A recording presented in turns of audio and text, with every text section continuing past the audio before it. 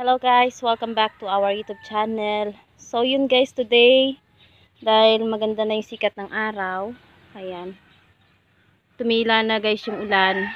So yun, kinontinue ko na yung pagtatanim ng malunggay. Ayan guys, so naitayo ko na siya. Ito, yan. Medyo mataas nga lang. Dapat pala pinutulan ko, pero wag na siguro. Tapos ito, medyo may maliit din. Ito.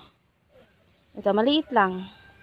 Para guys, pagka nagdahon siya, wala, mababa lang yung pagkuha, ba? Tataas din naman yung mga sanga niyan. Then, meron ding isa dito. Yun guys. Hindi ko na tinanggal yung mga sanga-sanga. Kasi nilagyan ko na ng bato sa ilalim para make sure na hindi sila mabuwal. At yun, yung aking sili guys, oh. Kala ko patay na to eh. Pero tinanim ko lang siya dyan. Yun, inayaan ko lang siya. Ayan, may mga bago ng talbos. Putulin ko kaya yung mga sanga-sanga niyan. Tapos sa ibaba, marami din siya mga sanga-sanga. Ayan. Ayan yung mga sobrang malunggay. Yung mga maliliit na sanga, hindi na yan mabubuhay. Kaya patutunawin ko na lang yan dyan para maging fertilizer sa lupa. Yun. Andito rin yung mga rose ko. Ito yung rose na galing doon sa nakatanim sa lupa sa bahay dati. Doon sa dati namin bahay na sobrang lago ng rose. Yan yung mga sanga na pinag-aakat ko. Yan, dito na lang natin sila palalaguin. Ayan. So yun guys, ayun, tumila na rin ang ulan. At mag-umpisa na ako magtanim. At saka ano, madami na rin kasi mga damo.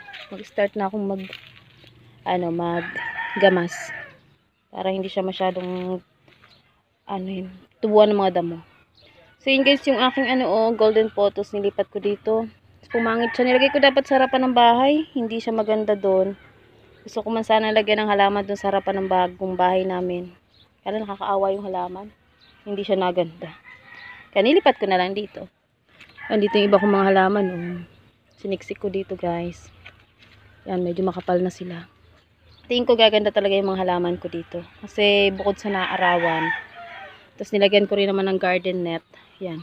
Malaking tulong yan guys para ma-filtered yung init ng araw.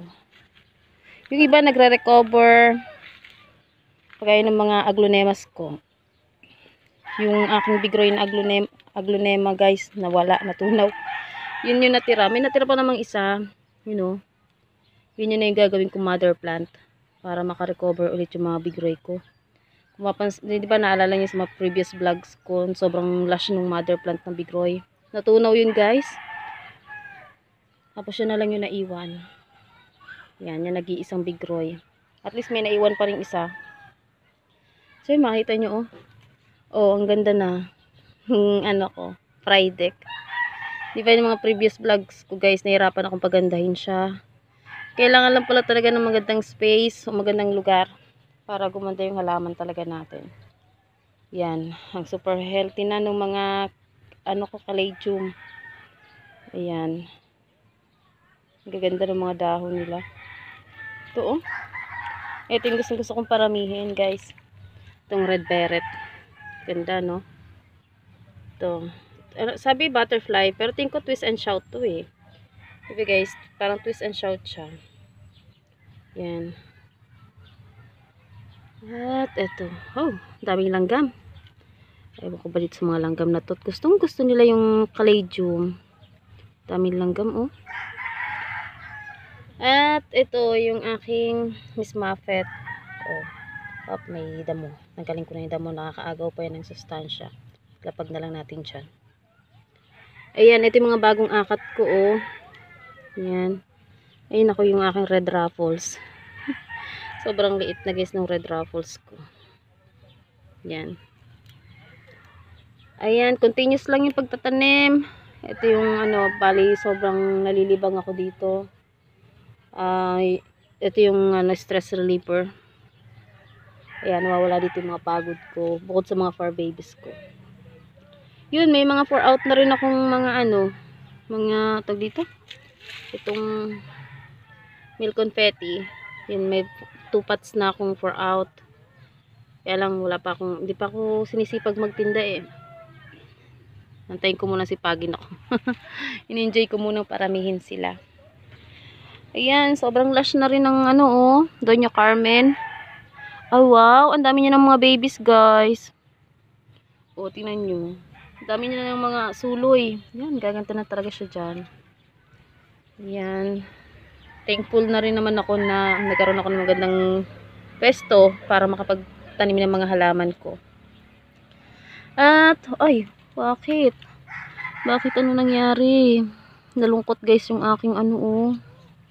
Daydreamer. Naku naman, ano nangyari sa'yo? Ito, check ko guys yung laman niya. Ba't natunaw? Yan. Isa pa naman din to sa mga rare na caladium na meron ako. Check ko na lang mamaya yung ano niya, soil. Pati yung kanyang bulb baka natutunaw. Agapan na natin, natin sayang. So, yun lang guys. Ang update ko for today sa aking uh, mini garden. Uh, thank you so much lagi sa pagsama, sa pag-support ng YouTube channel. Ingat po kayo lagi. Wow, ang ganda. God bless. Yan. Ingat po. Bye-bye.